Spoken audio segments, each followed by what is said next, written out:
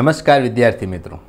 આજે સત્તર જુલાઈ બે હજાર એકવીસના રોજ એ ટીડીઓની એક્ઝામ હતી અને એ એક્ઝામમાં અંગ્રેજી વિષયના જે પ્રશ્નો પૂછાયા છે, ઇંગ્લિશના જે ક્વેશ્ચન પૂછાયા છે, એનું આપણે લોજિકલ સોલ્યુશન જોવા માટે આપણે જઈ રહ્યા છીએ મિત્રો. એટલે કે એ ટીડીઓનું જે પેપર છે, એ સત્તર જુલાઈ બે હજાર સત્તરની એ સિરીઝનું આપણે ઇંગ્લિશના તમામ પ્રશ્નોનું પેપર સોલ્યુશન જોવાના છીએ મિત્રો. ટોટલ ટ્વેન્ટી એટલે કે વીસ ક્વેશ્ચન આપણને ઇંગ્લિશના પૂછાયા છે. અને વીસે વીસ ક્વેશ્ચનનું આપણે અત્યારે સોલ્યુશન જોવાના છે મિત્રો. તો બરાબર ધ્યાન રાખી અને વીડિયો જુઓ. અને જવાબ કઈ રીતે આવે છે, શા માટે આવે છે, એ જવાબ પાછળનું લોજિક શું છે, એ આપણે સમજવાના છીએ મિત્રો. ચાલો, તો આપણે શરૂ કરીએ છીએ સોલ્યુશન પેપર નંબર એની જે સિરીઝ છે, એના જે ક્વેશ્ચન નંબર છે, એ ફોર ઉપર આપણે એક આવો સવાલ છે. શું છે સવાલ? કે find the correct spelling of the word for generations એટલે કે જનરેશન શબ્દ માટેનો સાચો સ્પેલિંગ પસંદ કરો. તો જનરેશનનો અર્થ શું થાય મિત્રો? તો કે પેઢી જનરેશનનો અર્થ થાય પેઢી. એટલે કે એક સમયનું, સમકાલીન. તો સમકાલીન શબ્દનો આપણે એના માટે કરેક્ટ સ્પેલિંગ એટલે ખરેખર એવું કહેવા માગે છે આનો સિનોનિમ કહો. એટલે કે એનો સમાનાર્થી શબ્દ કયો. તો અહીંયા આપેલા છે કન્ટેમ્પરરી તો કન્ટેમ્પરરી શબ્દ છે, એ આમ તો ચારેયમાં એક સરખો જ છે. પરંતુ ફરક એટલો છે કે ચારેયના સ્પેલિંગ અલગ અલગ છે. એટલે આપણે આડકતરી રીતે સાચો સ્પેલિંગ પૂછ્યો છે કન્ટેમ્પરરીનો તો મિત્રો, જો સ્પેલિંગ છે એ વસ્તુ છે, તમારે તૈયાર કરવાના હોય, એટલે પહેલો જે એ સ્પેલિંગ છે કન્ટેમ્પરરીઝ એ સ્પેલિંગ સાચો છે. બરાબર? અહીંયા આઈએસ કેમ કરેલો છે? તો કે વાય હતો, એનું બહુવચન કરવા માટે આપણે શું કરીએ છીએ? આઈઈએસ એ અહીંયા કરેલું છે. એકલું જનરેશન હોય તો કન્ટેમ્પરરી પણ જનરેશન્સ છે એટલે કન્ટેમ્પરરીઝ તમારે ખાસ યાદ રાખવાનું, અહીંયા કન્ટેમ્પરરીનો સ્પેલિંગ માટે અહીંયા વચ્ચે ઈ આવે છે અને પી પછી ઓ આવે છે. એ ખાસ એક યાદ રાખવું જોઈએ મિત્રો. નેક્સ્ટ જોઈએ ફિલ ઇન ધ બ્લેન્ક એટલે કે ખાલી જગ્યા પૂરું. સવાલ શું કહે છે? વોઝન્ટ ઇટ અ ગ્રેટ ખાલી જગ્યા that the famous social worker died in the car bomb explosion એટલે અહીંયા જો સવાલ સાથે કોઈ લેવા દેવા નથી તમે લોજિક સમજો. અ ગ્રેટ ખાલી જગ્યા. એટલે ખરેખર મિત્રો, આ ગ્રેટ શબ્દ છે એક પ્રકારનું એડજેક્ટિવ છે. એડજેક્ટિવ એટલે કે વિશેષણ છે. એક મહાન શું, પણ મહાન ગ્રેટ મોટું શું? તો અહીંયા ખરેખર એક નાઉનની જરૂર છે આપણે. નાઉન એટલે કે નામપદની જરૂર છે. તો અહીંયા શબ્દ આપણને ટ્રેજડીને લઈને આપેલા છે તમામ. બરાબર? તો ટ્રેજિક એ એક પ્રકારનું એડજેક્ટિવ કહી શકો તમે. એડજેક્ટિવ કહી શકો. ટ્રેજિકલ એ પણ એક પ્રકારનું એડજેક્ટિવ કહી શકો છો, બરાબર? આવો સ્પેલિંગ છે એ આવે જ નહીં, આ ખોટો સ્પેલિંગ છે. તો ટ્રેજડી એટલે એક પ્રકારની દુર્ઘટના અથવા દુઃખદ કોઈ વાત, બરાબર? તો આ એક પ્રકારનું નાઉન છે. આ એક શું છે? નાઉન છે. બરાબર? તો અહીંયા શું બનશે? Wasn't it a great tragedy એક મહાન, એક મોટી ટ્રેજડી દુર્ઘટના, કે દુઃખદ ઘટના એમ. That the famous social worker died in the car bomb explosion. શું એક મોટી મહાન ઘટના ન કહી શકાય? દુર્ઘટના કે એક સોશિયલ વર્કર ફેમસ હતા, એક બોમ્બ એક્સપ્લોશનની અંદર મૃત્યુ પામ્યા. બરાબર એટલે અહીંયા નાઉનની જરૂરત, એટલે મિત્રો આપણે એવું હોય કે અહીંયા એક પ્રકારનો આર્ટિકલ આવ્યો. આર્ટિકલ આવ્યો છે, ત્યારબાદ એક એડજેક્ટિવ આવે છે અને ત્યારબાદ અહીંયા એક નાઉન આવે છે.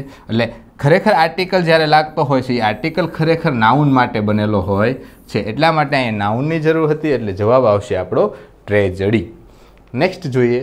Give antonym of innocent antonym એટલે શું પહેલાં તો? એન્ટોનિમ એટલે વિરોધી શબ્દ.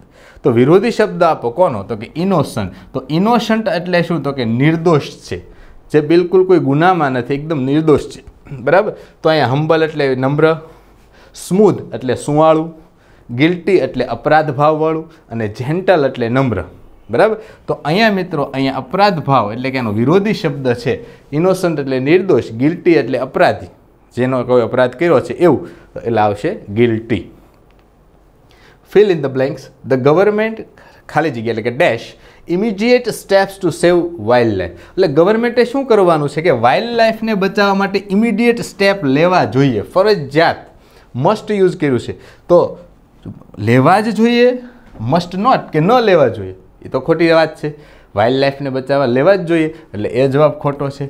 ઓલ ઓફ ધ એબો એવું તો ન શક્ય બને. બરાબર? શુડ નોટ ટેક એટલે કે લેવા ન જોઈએ સ્ટેપ વાઇલ્ડ લાઈફને બચાવવા સ્ટેપ લેવા ન જોઈએ. પણ એ વાત પણ લોજિકલ ખોટી છે. એટલે લેવા જ જોઈએ, એટલે મસ્ટ ટેક એટલે સરકારે વાઇલ્ડ લાઈફને બચાવવા ઇમિડિયેટ સ્ટેપ લેવા જ જોઈએ. બરાબર? એટલે અહીં આવશે મસ્ટ ફરજિયાત પણ બતાવે છે.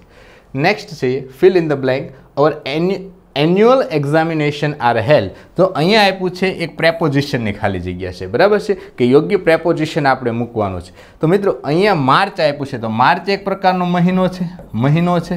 તો મોટાભાગે યાદ રાખો, મહિના માટે અહીંયા હંમેશા ઇન વપરાય છે. બરાબર? દિવસો દિવસ એટલે શું? જેમ કે મંડે સન્ડે એવા દિવસ જેને આપણે ડેઝ કહીએ છીએ. તો અહીંયા ઓન લખાય કે on Monday on Sunday on Tuesday તો મહિના માટે ઇન વાપરવું જોઈએ. એટલે our annual examination are held in March examinations હશે. બરાબર છે? કદાચ. ચાલો. Fill in the blank were the horse mine I ખાલી જગ્યા it to the veterinary veterinary doctor કે જો, હવે સમજો મિત્રો, અહીંયા વર આગળ આવ્યું છે. ખરેખર વોઝ કે વર એવું આગળ આવે એટલે પ્રશ્નાર્થ વાક્ય હોય છે. પરંતુ મિત્રો, અહીંયા આ વાક્ય પ્રશ્નાર્થ નથી. ક્યાંય પ્રશ્નાર્થ ચિહ્ન તમને જોવા મળતું નથી. તો આ વાક્ય કેવું છે? તો આ વાક્ય ખરેખર કંડિશનલ છે. કેવું છે? કંડિશનલ સેન્ટેન્સ છે. કંડિશનલ એટલે શરતી વિધાન. અને આ વાક્યની અંદર કલ્પના બતાવવામાં આવી છે. કલ્પના કલ્પના અને કલ્પના હંમેશા ભૂતકાળથી જ બતાવે. તો વરને આગળ લીધું કે જો આ ઘોડો મારો હોત, છે નહીં, જો મારો હોત, તો અહીંયા જો મિત્રો ભૂતકાળ આવે, તો અહીંયા પણ ભૂતકાળ જ આવવો જોઈએ. બરાબર? તો આ વ્હીલવાળો ઓપ્શન ખોટો છે. આ વ્હીલવાળો ખોટો, આ વ્હીલવાળો ખોટો. એટલે આપણો જવાબ છે, સીધો આંખે ઉડીને વળગે, કયો વુડ હેવ શોવન કહેવાય એમ માગે છે કે જો આ ઘોડો મારો હોત, તો હું તેને વેટરનરી ડૉક્ટર પાસે લઈ ગયો હોત. વેટરનરી એટલે પશુ ડૉક્ટર બરાબર છે? વેટરનરી ડૉક્ટર પણ એનો ઘોડો નહોતો એટલે એ લઈ ગયો નથી. એટલે કલ્પના બતાવે છે, એટલે આવી રચના કન્ડિશનલ સેન્ટેન્સની છે. ચાલો. Fill in the blank teacher says what is wrong with your mother કે તારા મધરને શું થયું છે? એની સાથે શું એવું રોંગ થયું છે? બરાબર છે? તો રાજા જવાબ આપે છે એ તો હવે એના મધર વિશે જ્યારે એને વાત કરવાની હોય મિત્રો, તો અહીંયા થોડુંક લોજિક જો ચલાવોના ક્વેશ્ચનની અંદર, તો મધર માટે સર્વનામ હંમેશા આપણે શું યુઝ કરીએ છીએ? શી બરાબર? તો અહીંયા તમે જોશો આઈ છે, અહીંયા યુ છે, અહીંયા યુ છે, અને અહીંયા શી છે. તો અહીંયા મમ્મીની વાત કરે છે એટલે આ જ જવાબ આવે છે કે તારા મમ્મીને શું થયું છે? તો કે she is suffering from blood cancer કે તેણી બ્લડ કેન્સરથી પીડાઈ રહી છે. બરાબર? એટલે સાચો જવાબ આપણો રહેશે શી અહીંયાથી. D okay next fill in the blank appropriate uh, form of verb થી. A strange bird came out from its nest. એક વિચિત્ર પ્રકારનું પ્રાણી સ્ટ્રેન્જ કેમ આઉટ જુઓ કેમ આઉટ એટલે સાદો ભૂતકાળ યાદ રાખજો સાદો ભૂતકાળ. એના નેસ્ટ એટલે માળામાંથી બહાર આવે છે. ક્યારે? તો મિત્રો યાદ રાખો વાઇલ પછી હંમેશા ચાલુ કાળ આવે. કોઈ પણ ચાલુ એમ. તો અહીંયા ભૂતકાળ છે તો અહીંયા આવે આવે ચાલુ ભૂતકાળ આવવો જોઈએ આપણે. બરાબર છે? આ એક ખાલી જગ્યા અહીંયા ટેકનું યોગ્ય રૂપ મૂકવાનું છે અ સ્ટ્રોલ સ્ટ્રોલ એટલે શું મિત્રો? તો કે એક આપણે નવરાશનો સમય હોય લટાર મારવા નીકળ્યા હોય, આંટો મારવા, ફરવા નીકળ્યા હોય એને કહેવાય સ્ટ્રોલ બરાબર છે? કે જ્યારે હું સ્ટ્રોલ કરતો હતો, ત્યારે મેં શું જોયું? એક વિચિત્ર પક્ષી છે એના માળામાંથી બહાર આવ્યું. તો એ વખતે ક્રિયા ચાલુ હતી. તો આ ભૂતકાળ સાથે મિત્રો, મેં ક્લાસમાં પણ ઘણીવાર કીધું છે અને આપણા ઓનલાઈન વિડીયોઝ પણ છે, એટલે શોર્ટકટ સ્ટ્રીકવાળા. આપણે જે યુવા કરિયર એકેડેમીની જે આપણી યુટ્યુબ ચેનલ છે, એના પર તમને ત્રણ એવા ભાગ મળશે, જેની અંદર આપણે આવી ઘણી બધી શોર્ટકટ ટ્રીકોની વાત કરી છે. તો એમાં આ ભૂતકાળ સાથે ક્યારેય ભવિષ્ય અને વર્તમાન ન આવી શકે. તો અહીંયા જોશો તમે, તો આ વ્હીલ તો એક નીકળી જ જશે. બરાબર? આ ટેક છે, એ પણ વર્તમાન કાળ ગણાશે, એકલું ટેક છે. હવે હેડ ટેકન લેવું કે વોઝ ટેકિંગ લેવું? તો વાઇલ પછી ચાલુ કાળ હોય, ચાલુ કાળમાં આઈએનજી વાળું હોય ટુ બીનું રૂપ વધતા આઈએનજી એટલે વોઝ ટેકિંગ આપણો સાચો જવાબ રહેશે. નેક્સ્ટ જોઈએ plural form of die ડાયનું plural form small cube used in games કે એક રમતમાં વપરાતું એક નાનું સમઘન, ચોસલું. એને આપણે પાસા તરીકે ઓળખીએ છીએ. તો એ પાસાનું ખરેખર બહુવચન ડાઇસ થાય છે મિત્રો, બરાબર છે? ઘણા આવું કહે છે, આ પણ આવે છે મિત્રો. ડાઇઝ પણ થાય છે. પણ મારી દૃષ્ટિએ હું એવું માનું છું કે એનું સાચું બહુવચન કયું છે? ડાઇસ છે. બરાબર છે? અને આ ડાઇઝ શું છે? ઓલે ડાય આપણે ઘણી વખત મતલબ કલર કહીએ છીએ ને, માથામાં નાખવાની ડાય. એ ડાય માટે આ શબ્દ છે ડાઇઝ અને આ શબ્દ તો ખોટો જ છે આખો, બરાબર છે? સ્પેલિંગ જ અને આમ ડાયનો અર્થ મૃત્યુ પામવું થાય. પણ અહીંયા આપણે સ્પષ્ટતા કરી દીધી. એક નાનું પાસ સમઘન. તો એનું બહુવચન આપણે અત્યારે લઈએ છીએ ડાઇસ બરાબર છે? આ ક્વેશ્ચનમાં કદાચ વેરિએશન આવી શકે છે. જો આ તો નહીં જ આવે, સાચું આ જ આવશે, પણ છતાં આપણે તમને કહીએ છીએ આ વસ્તુ. Fill in the blank such an act would not be kind even if મિત્રો ઇવન ઇફ છે, એક પ્રકારનો વિરોધાભાસ બતાવે છે કલ્પના સાથે. વુડ આવ્યું, ભૂતકાળ થઈ ગયો. હવે જો ઓપ્શનની અંદર જોશો તો વિલ નો આવે, ભૂતકાળ સાથે. ઇઝ નો આવે. તમારી પાસે બે ઓપ્શન છે વોઝ અને વર કે આવા પ્રકારનું એક્શન છે વુડ નોટ બી કાઇન્ડ દયાળુ ન હોઈ શકે. ઇવન ઇફ ઇટ ખાલી જગ્યા જસ્ટ જસ્ટ એટલે અહીંયા લેવાનું ન્યાય. ન્યાયી. જસ્ટનો અર્થ અહીંયા શું લેવશું ન્યાય. જો આ પ્રકારનું વર્તન ન્યાયી હોય તો પણ એ દયાભર્યું ન કહી શકાય. બરાબર છે? તો મિત્રો, અહીંયા આપણે કલ્પના રજૂ કરવાની છે. કલ્પના. અને વુડ સાથે, આ રીતના વુડ સાથે આવા કલ્પના ભર્યા યુઝ વાક્યો થાય છે. છતાં અહીંયા ઈટ આવે તો પણ અહીંયા વોઝ ન લેતા શું લેવું જોઈએ? વર. બરાબર છે? ઇવન ઇફ પછી યાદ રાખજો મિત્રો, આ રીતે યાદ રાખવાનું છે. ઇવન ઇફ પછી જો કલ્પનાવાળું વાક્ય હોય, એટલે કે અહીં કોઈ પણ સબ્જેક્ટ હોય, તો તમારે અહીંયા વર લેવાનું છે. ક્યારે આ, ક્યારે આવું થઈ શકે કે આ વાક્ય જ્યારે ભૂતકાળમાં હોય અને અહીંયા તો આપણે વર આની સાથે લેવું જોઈએ. બરાબર છે? સોરી આ આ વર તો અહીંયા આપ્યું છે, એટલે આ ભૂતકાળની અંદર આપણે અહીંયા વર લેવાનું છે. બરાબર છે? પછી ભલે એક વચન કરતા હોય અહીંયા, છતાં પણ આપણે વર લેવું પડશે, એટલે સાચો જવાબ રહેશે આપણો were. Next is an is ખાલી જગ્યા, એટલે કે ડેશ ઇનડેફિનાઇટ આર્ટિકલ તો એન નામનો જે આર્ટિકલ છે, એ એક અનિશ્ચિત આર્ટિકલ છે. તો ઇનડેફિનાઇટ એટલે ઈ એટલે સ્વર. આ સ્વર છે, તો સ્વર માટે આપણે આર્ટિકલ લેવાનો હોય છે એન બરાબર છે? એટલે અહીંયા જવાબ આવશે article an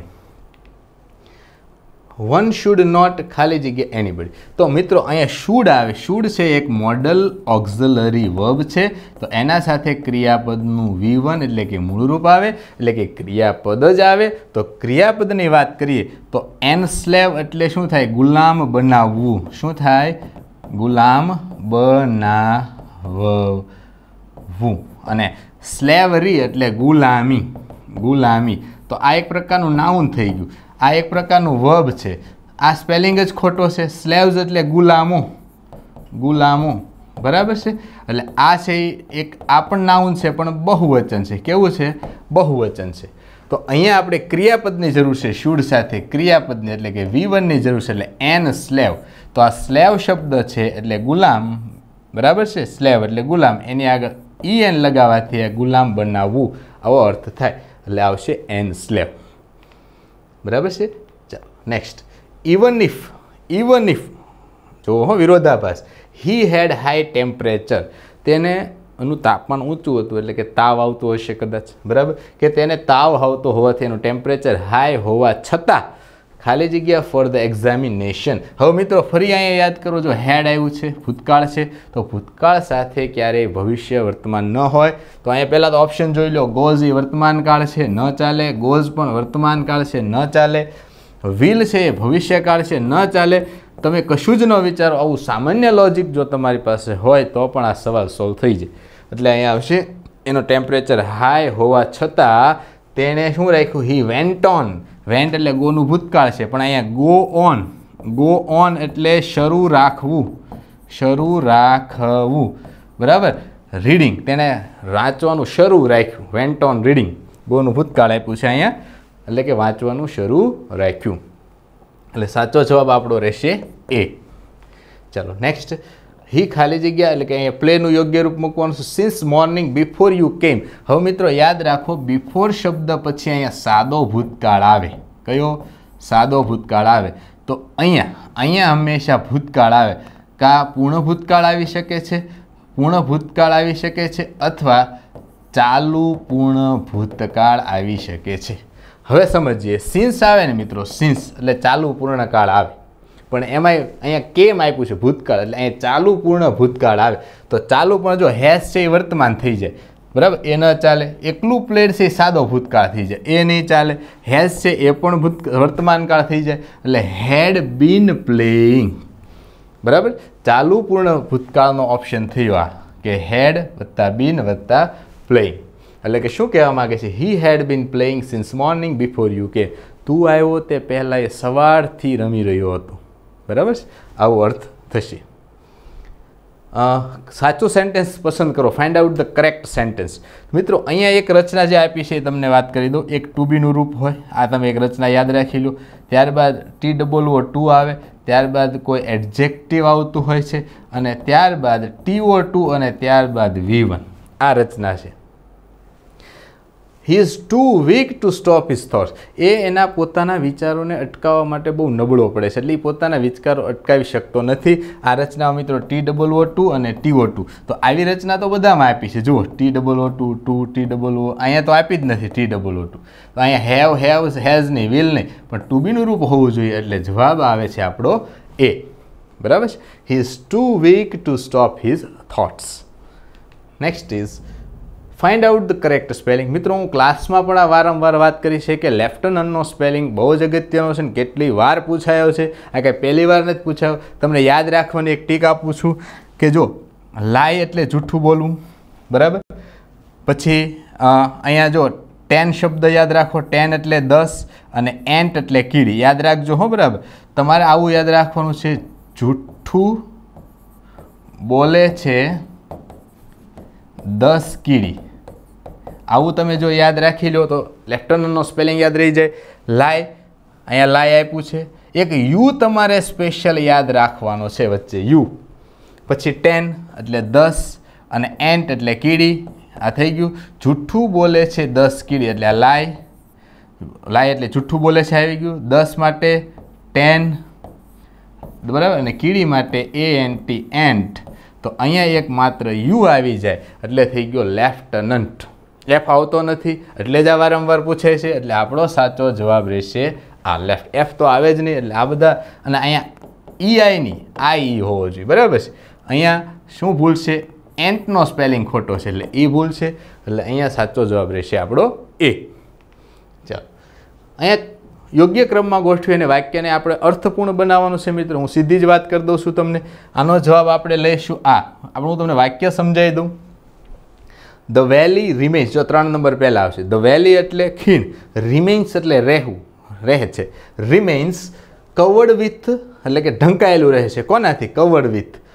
ચોથું થીક બ્લેન્કેટ ઓફ એક જાડું બ્લેન્કેટ બની જાય છે. શેનાથી ઢંકાયેલું? બ્લેન્કેટ ઓફ સ્નો સ્નો એટલે બરફ. ડ્યુરિંગ વિન્ટર એટલે કે ખીણ છે એ શિયાળા દરમિયાન ડ્યુરિંગ વિન્ટર શું થાય છે? એક સ્નોના બ્લેન્કેટથી ઢંકાયેલી રહે છે આખી.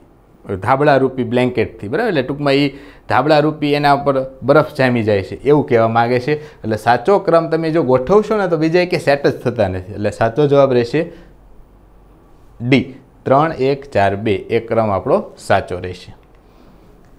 Mr Joshi taught science to his neighbours જો વાક્ય સમજો મિત્રો કે મિસ્ટર જોશી છે ટોટ એટલે ભણાવ્યું ભણાવ્યું, બરાબર? શું ભણાવ્યું? તો કે સાયન્સ કોને? તો કે ટુ ઇઝ નેબર્સ તો કે અંડરલાઇન કરેલો પાર્ટ છે, એને ક્વેશ્ચન તરીકે તમારે લેવાનો છે, એને કાઢીને ક્વેશ્ચન બનાવવાનું છે.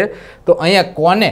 અહીંયા આપણે એના નેબરને ભણાવે છે આપણો સવાલ એવો હોવો જોઈએ હુમ એટલે કોને ભણાવે છે? કોને? તો અહીંયા મિત્રો, એકમાત્ર વિકલ્પ તમે જોશો વુમનો આપ્યો છે. બીજું લોજિક સમજીએ ટોટ એ ભૂતકાળનું રૂપ છે. તો અહીંયા આ ડઝ ને ડઝ ને વર્તમાન કાળ એ પણ ખોટા કહેવાય. હવે હુમાં હું ક્યારે બને? તો કે આગળ કરતાં જો દૂર કરવાનો હોય તો હુંથી સવાલ બને. એ તો આપણે અંડરલાઈન આપી નથી, અહીંયા આપી છે, એટલે હું વડે ક્વેશ્ચન બનતો નથી. એટલે આપણો જવાબ સાચો રહેશે A whom did Mr Joshi teach જો આમાં ટોટમાંથી, અહીંયા સોરી અહીંયા ટોટમાંથી ડીડ આને આપ્યો અને ટીચ અહીંયા આપ્યો. બરાબર? એટલે ટોટમાં ડીડ એ હોય અને ટીચ પણ એટલે ડીડ બહાર આવી ગયો અને અહીંયા થઈ ગયું મૂળ રૂપ. એટલે સાચો જવાબ આપણો રહેશે A. I can not leave હું જઈ ન શકું. લીવ એટલે છોડીને જવું, એટલે ઉપડવું, ક્યાંય બહાર જવું. આઈ કેન નોટ લીવ ખાલી જગ્યા, એટલે કે blank the job is finish એટલે કે ક્યાં સુધી? જ્યાં સુધી જોબ પૂરી ન થાય, ત્યાં સુધી હું ઓફિસ છોડી કે કોઈ સ્થળ છોડીને જઈ ન શકું, તો જ્યાં સુધી, ત્યાં સુધી માટે આપણે લઈએ છીએ અનટિલ બિકોઝ એટલે કારણ કે, એવો અર્થની જરૂર નહોતી. બટ એટલે પરંતુ ધેટ એટલે કે, એવું થાય કે જે. બરાબર? એટલે અનટિલ જવાબ આપણો સાચો રહેશે. એટલે કહેવા એમ માગે છે કે જ્યાં સુધી જોબ પૂરી ન થાય, ત્યાં સુધી હું જઈ શકું નહીં. બરાબર? ચાલો. તો મિત્રો, આ ક્વેશ્ચન હતા આપણા એ ટીડીઓના આ સોલ્યુશન તમને પસંદ આવ્યું છે. જો તમને અમારો વીડિયો ગમે, તો લાઇક કરજો શેર કરજો, બરાબર છે? અને વધુને વધુ તમારે આવા વીડિયો જોવા હોય, તો કોમેન્ટ બોક્સમાં અમને નીચે લખીને આપો. તો અમે આવા વીડિયો તમારા સુધી પહોંચાડતા રહીશું મિત્રો. તો આટલે રાખીએ છીએ. અસ્તુ, જય હિન્દ. નમસ્તે. બાય